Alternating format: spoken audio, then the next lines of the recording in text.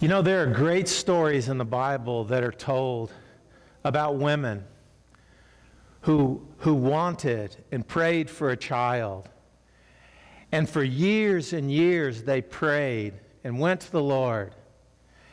And those children that were born to those mothers who waited and wanted and prayed, they were children who the Bible describes how they went, to do, went on to do great things in the kingdom of God. And here in Spirit of Life, in the last couple of years, we've had three such children where doctors said they would never have children, where, where the situation was waiting and there was, there was no pregnancy or there were miscarriage after miscarriage after miscarriage. And God turned those around with a blessing and gave lives to each of those moms and dads. And we're here today to celebrate one of those, and that's Isabel Marie. And we are so thankful today that, that uh, after we were so excited that she came, that today we're excited that she's come into God's house to be received as his daughter through faith and through baptism.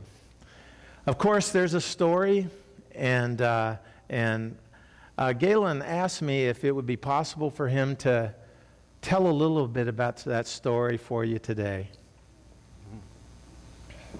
I'm going to hand her to Mama here. Yes.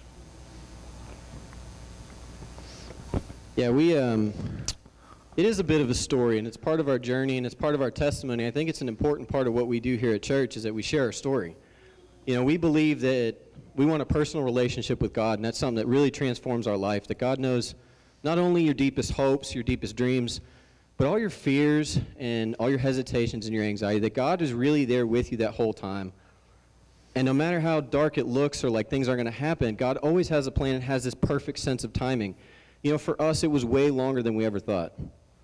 And it's hard to kind of deal with that. And I'm sure that maybe this isn't your exact situation, but maybe you've experienced something like this where it, it seems to be happening for others, but never you, right? Um, where it just kind of grates on you after a while, right? You're kind of like, oh, okay. And then you kind of just start thinking, like, maybe God's just, maybe this is really not in the plan for me. You know, I felt like God had promised me something here.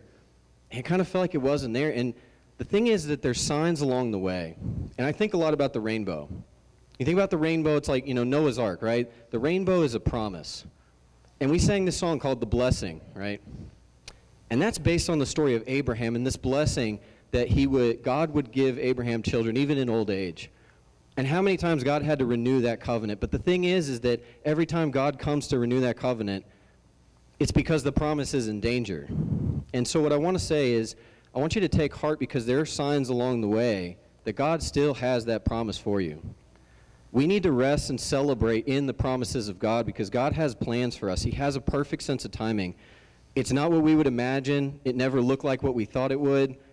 Certainly, we didn't imagine having a child during the COVID time that we're in with so much chaos in the world. But here's the thing no matter how dark and grim it looks in the world, and let's face it, a lot of people are really not too um, optimistic about the state of our world right now no matter how dark it looks and no matter how much it looks like those promises are not going to happen, God is sending sign after sign and hope after hope, and we can rest in those promises and in that hope.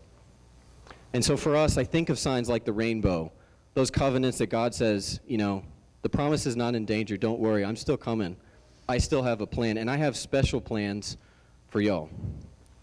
And so I just wanted to share that word because I've been on all sides of this, right? I've, I've been watching other people who had a kid, right? And so maybe that's where you are today.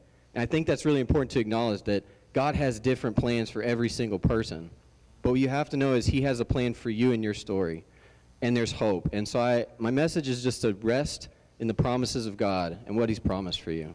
Celebrate that in the darkest times because you have no idea what He can really do for you.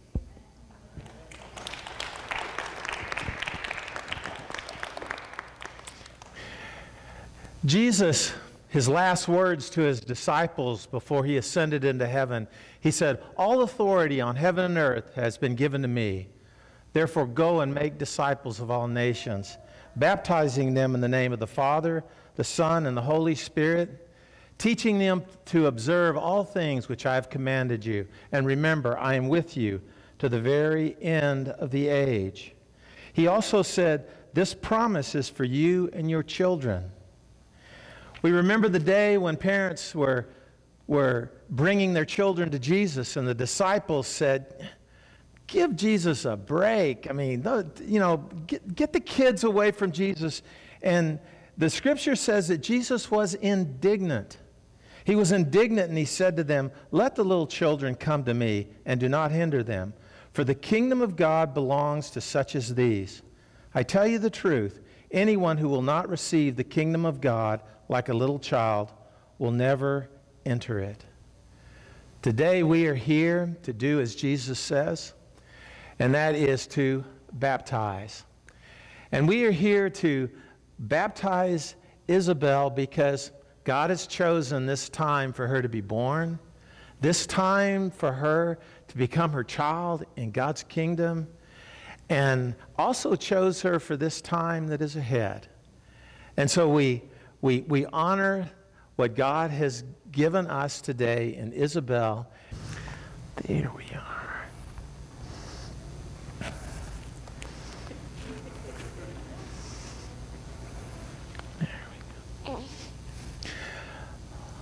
We have waited a long time for you to come. And this is a very special day, and we want to pray for you. Dear Isabel, we bring you to Jesus here today because he's the one that has given you to us. And we thank and we praise him. And we pray today that at her baptism, Lord, that you would bless her richly, that you would fill her with your Holy Spirit that you would begin the process of unfolding the great plans that you have for her in her life.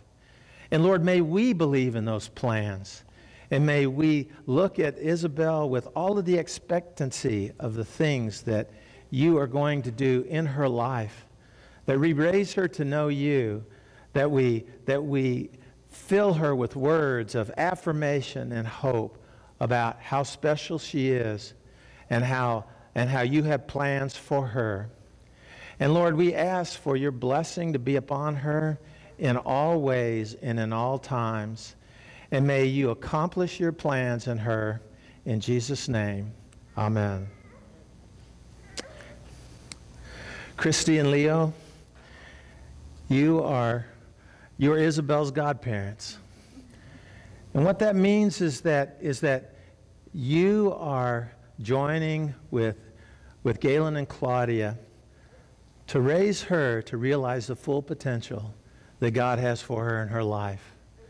That you are a spiritual influence on her, encouraging her in all that she has in front of her and all that the Lord has planned for her.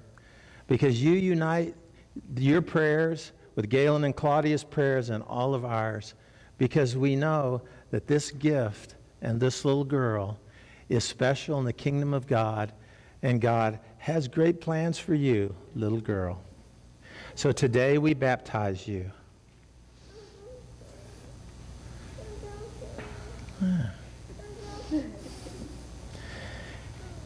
Isabel Marie Miller, I baptize you in the name of the Father, in the name of the Son, in the name of the Holy Spirit. Ah. Lord, receive her into your kingdom. She is your child. And we pray, Lord, your blessing upon her for all the days of her life. In Jesus' name, amen.